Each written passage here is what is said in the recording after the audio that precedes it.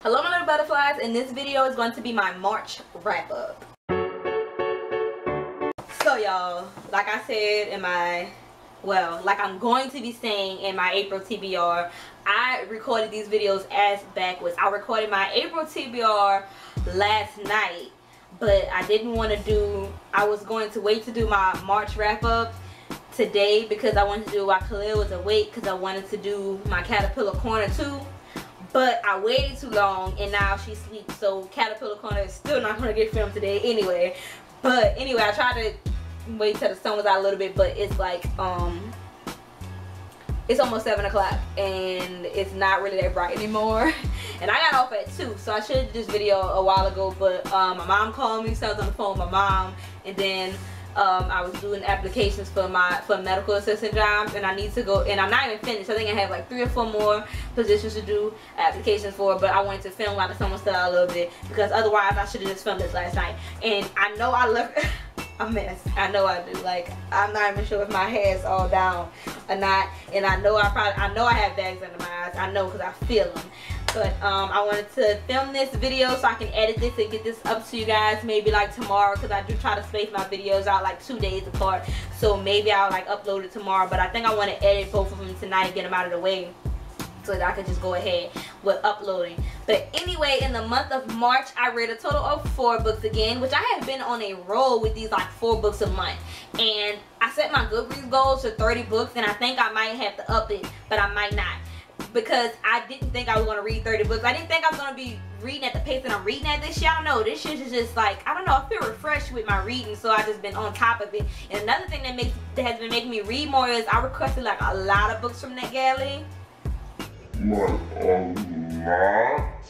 Like, I was at, I just like requested a bunch of them at one time, but I wasn't paying attention to how many books I was requesting to review. It's just I got on there and I was like, oh, this book sounds good, that book sounds good, that sounds really good. Request, request, request, request, and then one day I just started getting your request has been approved. Back to back emails. I was like oh my god what have i done? So i have like a lot of books that i have to review and i have like banned myself from going on NetGalley and doing anything unless i'm putting my review up for the book otherwise i don't go on there because then i start browsing i'm like oh that sounds good and i find myself almost about to hit the request button and it's not that it's a i request like an overload but I did. It's like a lot of the books that I requested all came out like around the same time in the same month. I had a lot of books that I was supposed to review that came out in March, but I didn't read all of them. So I'm behind on my reviews and that's probably why I have so many books because the majority of the books that I've read this year have been arcs that I've got from NetGalley. So um, I kind of have like kind of slowed down with it and I just say well look I'm gonna read. I'm gonna review them but I'm not gonna just rush to the review because I have a lot of books on my shelf that I want to read too. Now that I got that long-winded ass explanation out um the first book that I read in the month of March and it was also a arc that I actually got from the author that I was so excited about was the Wealthy Chic's Love Triangle. And I know somebody told me that it's not pronounced chic but I can't remember how they say it to pronounce it and I don't feel like going like back on my under the video to see but um chic is pronounced like another way. I think they said it's pronounced like shake. I can't remember. But it is by Natalia Banks and oh my god you guys I love this book so much. I gave it a 4 out of 5 stars and the only reason I took a, st a, a star away was because I said it was very insta-lovey but it was a novella but it was still too insta-lovey for me. So that's the only reason I took a star away but it was amazing um, I put I'll put the Goodreads link below and I will also link the review that I did for it on the eye so you guys can see because I really did enjoy it I really love like the steamy romance novels and that's like what it was so I definitely love that. The second book that I finished in the month of March was a graphic novel that I received from NetGalley and DC Comics Publishing. It was The Suicide Squad Volume 1, The Black Vault by Rob Williams. And I love that one as well. But I only gave it, gave it a 3 out of 5 stars. I know you're like, I love, if you love it so much, why you only gave it out of 5 stars? Well, um, I'll, I'll link my review for that up in the eye. And that's with my it's a like a, com a combination review that I did with the next book I'm going to talk about. But this one, I gave it a 3 out of 5 stars because I said I really, really love the graphics.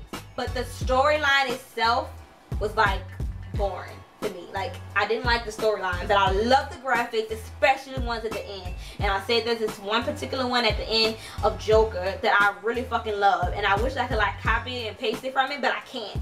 I tried. Like I would love to just copy and paste the picture from the end of it and put it up so you guys can see it, but I can't. Like I'll try to find it on like Google and see if it's up there something, but I doubt it is but it was so good and it was just so beautiful I said I would buy this comic just for the artwork, not even for the story. Like I would just buy for the artwork. So I did say I would. I didn't know where I was on the recommendation scale with it because I wasn't because I wouldn't personally buy for the story. I would just buy for the art.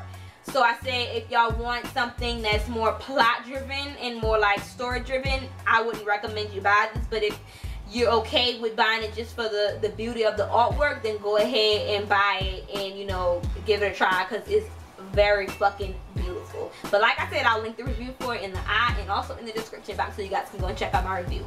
The third book that I finished in the month of March, which was also a graphic novel and also a book that I got from NetGalley and DC Comics, which is the book that I did with Suicide Squad for the review. Uh, and I already linked it in the, in the description box. But it is called The Flintstones Volume 1 by Mark Russell. And I didn't like this one so much. I gave it a 2 out of 5 stars.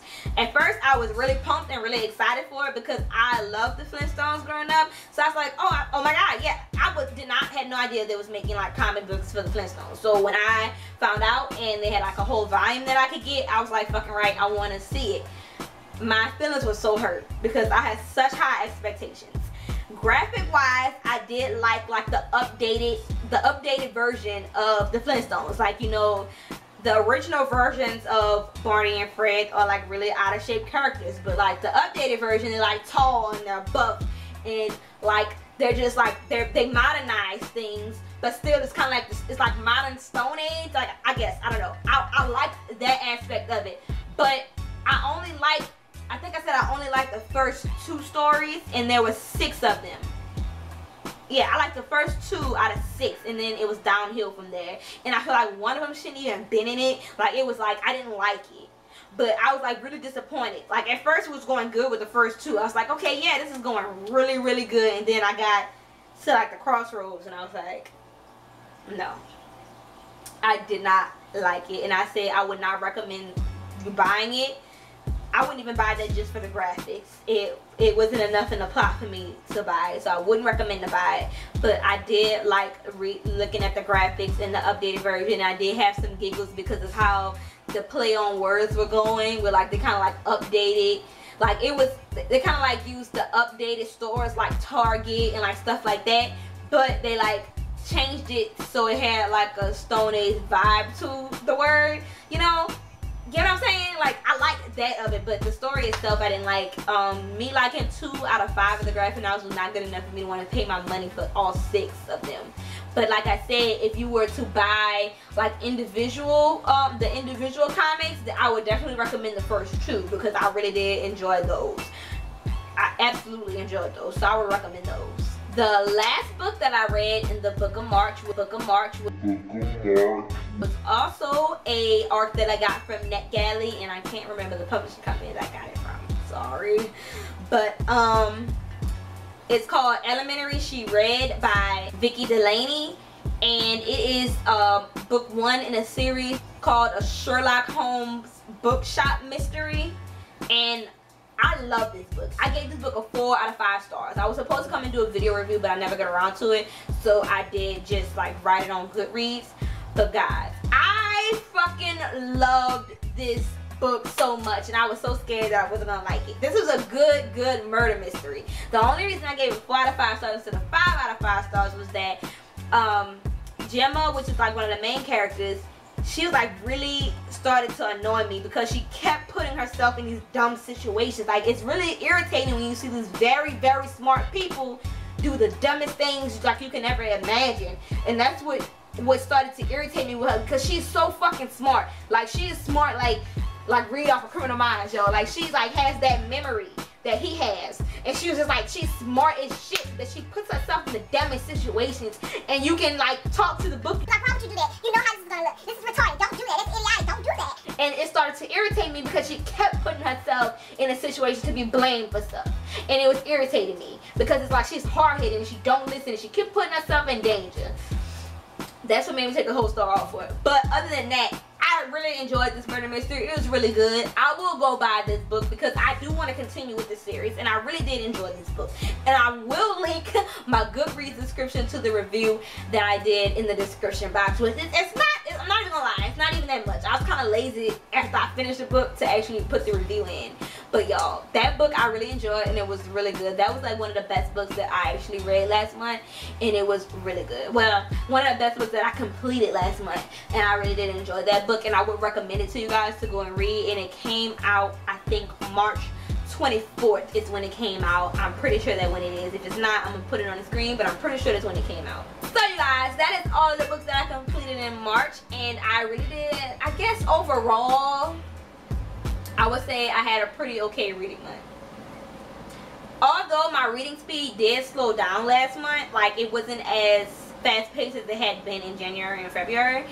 But last month it did kind of slow down. That was kind of my fault because I didn't read that much last month. Like I got wrapped up in all of these new games that came out and so I have been playing Ghost Recon, the new Ghost Recon that came out and I also got the Just Dance 2017 that had came out but I don't I don't really like it. Like majority of the songs on that one is old and uh, like most of the songs on this one is like Spanish it's in Spanish. It's like it's like those songs. Like you probably had like maybe eight songs in English on this one and the rest of them are like in Spanish or like these languages that you don't know. And I didn't like that because I can't get my dance on if I can't sing along to the words you know I didn't like it. So I think I'm going to go and trade it back in at GameStop because 2016 is a whole lot better. Like there's like maybe four songs I could really like rock out to, like jam out on there and get my dance on, but that's not good enough for me to want to keep it. But anyway, thank you guys for watching my video. Don't forget to like, share, and subscribe, and I will see you guys next time.